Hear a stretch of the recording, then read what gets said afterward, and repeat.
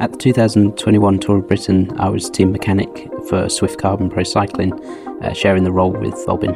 Coming up is some in-car footage uh, that was recorded on a dashcam that I just placed in the car, um, and to be honest, I completely forgot about it. So I thought I should collect all these videos together and make a little insight as to what it looks like when inside the team car.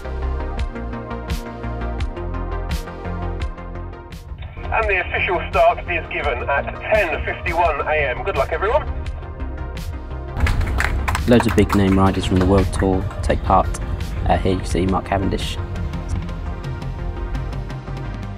There's Pete Williams, won many a jersey over the years. Wout van Aert, never heard of him. Julian Alaphilippe, ex-world champion. Nico Dlamini, South African star and are being kept informed of the time gap. The latest advantage is 4 minutes 25. Pete Williams DS for us at Swift Carbon in 2021. Carbon for feeding in the peloton, please. Swift Carbon. What you can hear there is the race radio um, calling for Swift Carbon feeding in the peloton. Um, we're team car number two, so it's no sweat for us.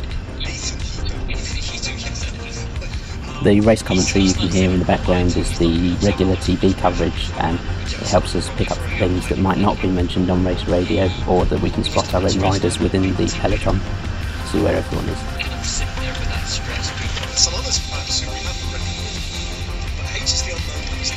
It's always fun going past schools. The support is always top notch from them. Within the convoy of cars, you have your position, which is based on the general classification of where your riders are. Ours of this day was number 13. Swift Carbon, your rider still calling for drinks in the peloton, please. It's super hard to get from position in the convoy to the back of the peloton to service your riders. And drinks for Swift Carbon uh, for the break, please. Drinks for Swift Carbon break. Uh, they said break there, so that's our call to go up to the rider who we have in the breakaway. Because we've been called up, we get to come out of position and come up to the back of the uh, breakaway and to check it's okay with the commissaire and inform the rider that you're there ready.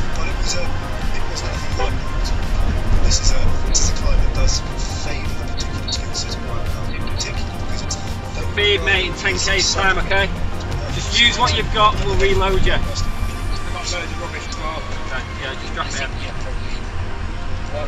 Once you finish servicing the rider, you drop back into position the other cars who are ahead of you in the convoy will come around you.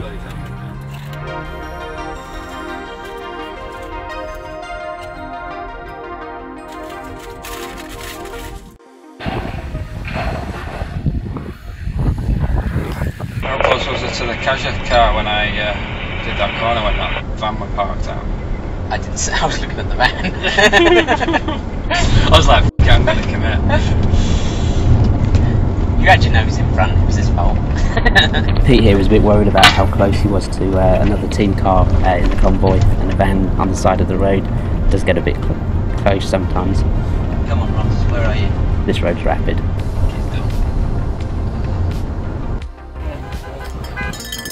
Support over the top of climbs is always good. It's a congregation point everyone uh, comes out to see the riders going a bit slower than they normally go past.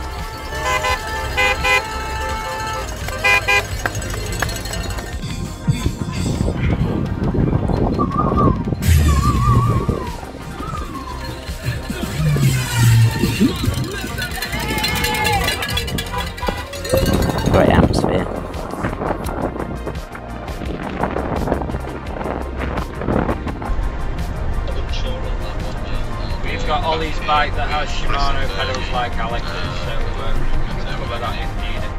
Wasn't sure on that, mate. Uh, we're back here with Chris and Bergie. Uh, there's a Where's two Andy? of them in. Also just picked up Ross in this group as well. Where's Andy then? Lots of work goes on between Team Car 1 and Team Car 2 to make sure equipment and the riders require is on the car that's with, with each rider. So obviously if someone's in the breakaway, they need their bike on top of that car. Um, and also trying to keep on top of where riders are within the race, uh, especially if it's been blown to pieces. When the team car's out of radio signal between each other, uh, we use voice notes on WhatsApp so that the signal's not always so great when you're out in the sticks. So uh, at least you can rely on that message being delivered. So my driver's door.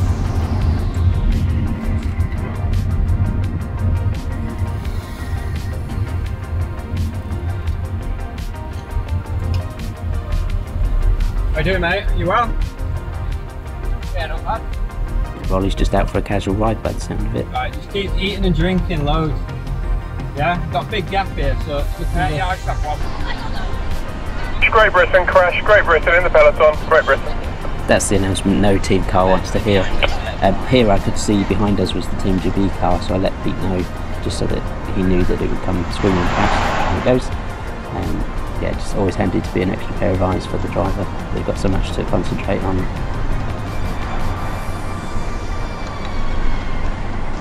By watching the TV coverage, I was able to let Pete know that around this corner was where the crash had happened. That's on this corner. Caution for parked cars at uh, kilometre 173.8. Parked cars on the right, kilometre 173.8. Oh, skin suit. There's a whole lot of flesh on show. Sadly, Ethan Vernon had come down, and let's just say his skin suit wasn't doing what it's supposed to do anymore.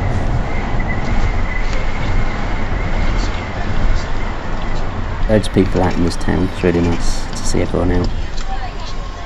Best crowds I ever saw was at the Tour of Yorkshire. It's just, people the whole way along the route. It's insane.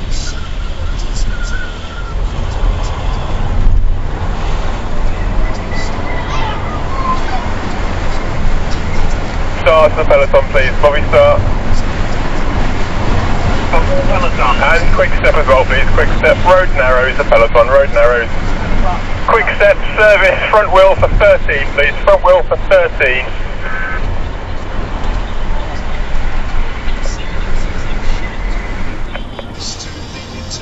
Just give us a call again, lads. You can't move out of position in the convoy uh, until your rider has called you up, so they have to put their hand up. So the commissaire will call you uh, over the radio so that you can move up. Swift carbon. Swift carbon for feeding in the peloton, please. The commissaire's uh, seen that riders put their hand up, so there was the call you get to move up to the front of the convoys.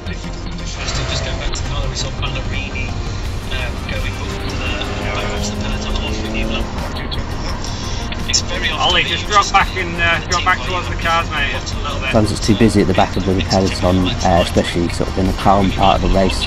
So you call your rider to just drop back a little bit, um, just so you can service them.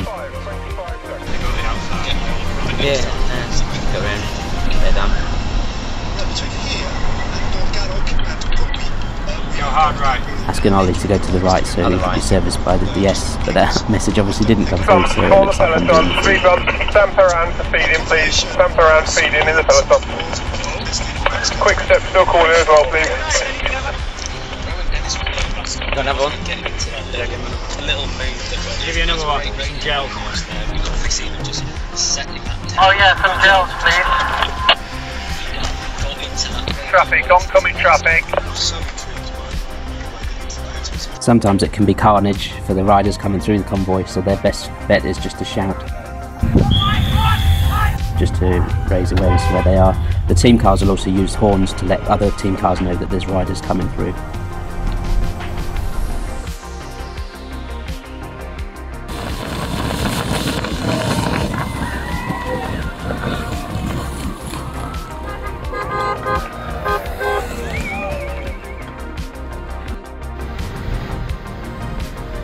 Is from our uh, course recce we did before the team time trial. On the race, I was sat in the back of the car and ready for if anything was to happen.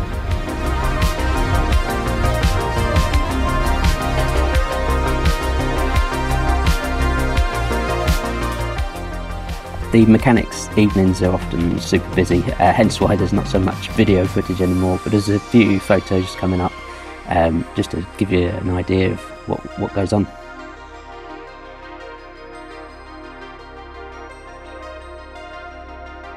Here you can see one of the time trial bikes uh, just got it on the jig just to check that it's going to pass uh, the UCI um, scrutineering before the time trial and regulations that the um, the reach of the cockpit, the angle of the bars, the how far forward the saddle can be, the angle of the saddle.